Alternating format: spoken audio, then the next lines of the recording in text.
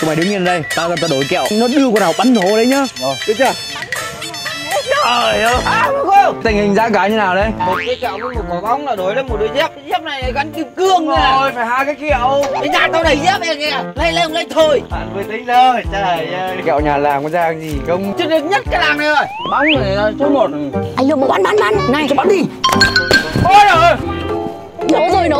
nó bóng quá kiểu chi quá kiểu gì mà đã nổ rồi. Đây. Mày làm gì không ăn không có một cái gì luôn. Đừng có mà ma giáo. Tôi để làm giáo cái mặt bạn này cái kẹo nữa. Kẹo có bị nổ đâu. Combo một quả bóng bay một cái kẹo. Đưa đủ rồi. Làm ăn. Thôi tiếp rồi rồi rồi thôi. Lên đó. Bóng thì lại nổ rồi bỏ ra. À à. bán được đi bán đi. Gói lại bán đi. Lừa mấy đứa trẻ con đi lừa tao đập luôn nữa. Kẹo này nhưng mà mình anh ăn chứ bọn em không được ăn đâu. đấy rồi giờ đến lượt mày cứ thế làm theo cách của anh. Sáng giờ bán có làm sao đâu mà cái thằng khô cứ sờ vào cái là nổ